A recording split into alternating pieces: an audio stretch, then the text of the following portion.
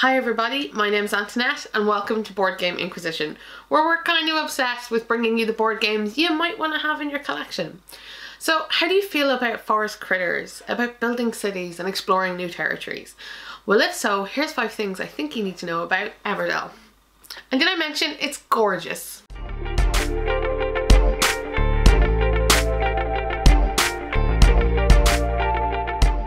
Welcome to Everdell. Here you are the leader of a group of forest critters who are trying to expand their territories and settle new cities. The game is played over a year, four seasons, as you try to construct buildings, meet new characters, and host events. Everdell, at its core, centres on tableau building and worker placement, and the aim of the game is to get the most victory points from among your tableau or the event cards.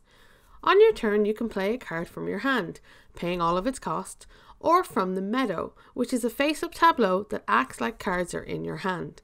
You can also place various workers on spots on the board, which provide you with resources and cards. The cool thing about these cards is that buildings are linked to the critter cards. Allow me to explain. On every card is its name, any abilities it has, its costs, and another card will be named. This means if you have the building card in play, if you play the matching critter, you can play the critter for free. This is the unique part of this game, where if you match cards together, you can benefit greatly.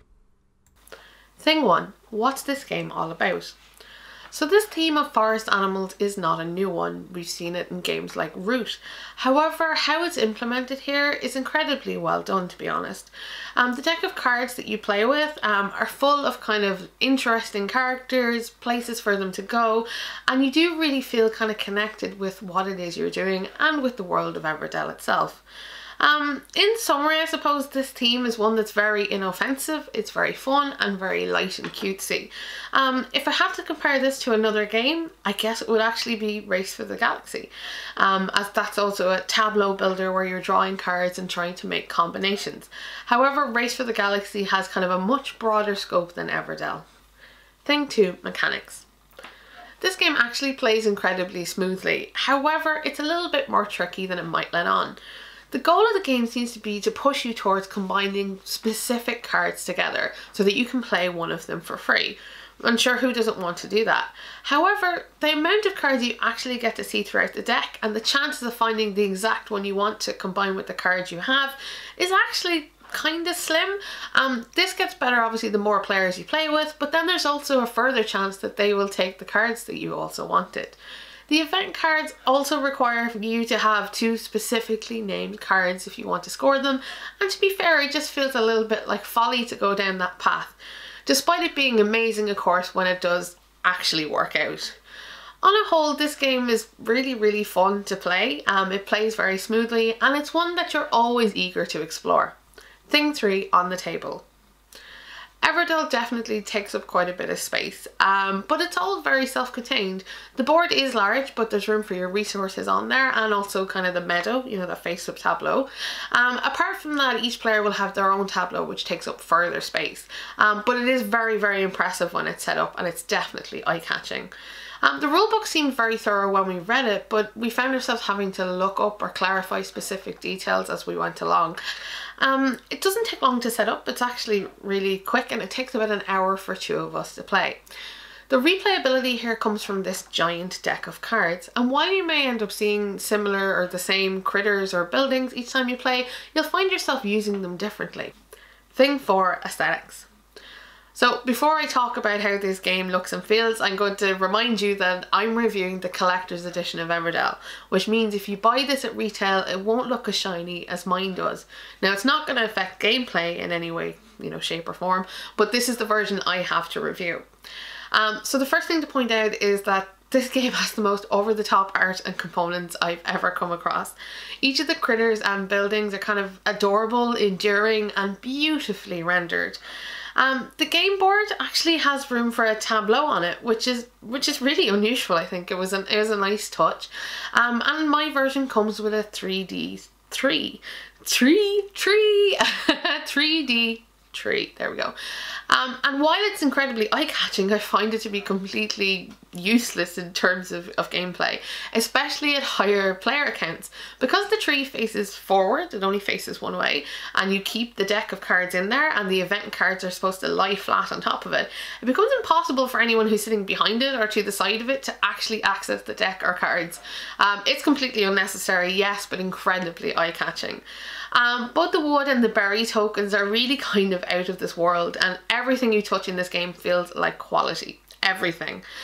If you wanted to draw someone into modern board gaming, well, this is the way to do it. Thing 5. Is this game any good? Everdell for me really is a bit of an enigma and it kind of forced me to challenge what it was I thought I wanted out of a game. So let me share with you a little story. So the first time we played Everdell, we made mistakes. And the gameplay felt a little clunky, but I assumed it was down to those mistakes and, you know, the first time you play. The second time I played Everdell, I realised too late that you could only have a certain number of cards in your tableau, and I demanded a rematch. The third time I played, I went for a strategy of only building high points buildings, and sure enough, this strategy also went awry. The fourth game, however, I felt I was really onto something as I focused on those event cards. Um, and I spent the game drawing cards, trying to get the ones that were exactly named on the event cards. And of course, this too failed. The fifth time, I finally had lots of pairs together and what felt vaguely like a solid plan. I, I was kind of happy. Um, and then my husband defeats me for the fifth time in a row with the exact same score, 69. I found myself so unhappy with my performance in each game, and yet I kept pulling it down off the shelf again and again and again. And no matter how many times I played it, I still felt like I hadn't really grasped the game at all. And I think this is because of the limitations Everdell places on you that isn't present in other games. So it highlights, you know, how important or how good it is to combine buildings and critters together. But this isn't something you really have a lot of control over or can really work towards. Um, the same is true of the event cards where they will give you rewards if you complete them. Um, but generally speaking, it seemed to be of more value to use your workers on your own cards or play cards from your hand than it was to try and claim these rewards. So the game suggests you should try all of these things, but you really should take it with a grain of salt and that really messed with my mind a lot. This game left me rather disgruntled, but I just couldn't stop playing it. Like, I can't tell you if it's actually fun or not, but I keep pulling it down off of my shelf. And I think it's to do with this special card nature thing. It actually messes with my mind a bit. Because normally when you play a card game, you're given a set of rules and then you get to go about and, you know, play it as you will within that kind of structure. Everdell tells you you can do everything when really you can't. This game is rather a good thing. For sure, I wish there was a couple of things I could fix about it, but I can't help but think that those missing aspects of it are actually what make this game so incredibly compelling. Do I think you should have Everdell in your collection?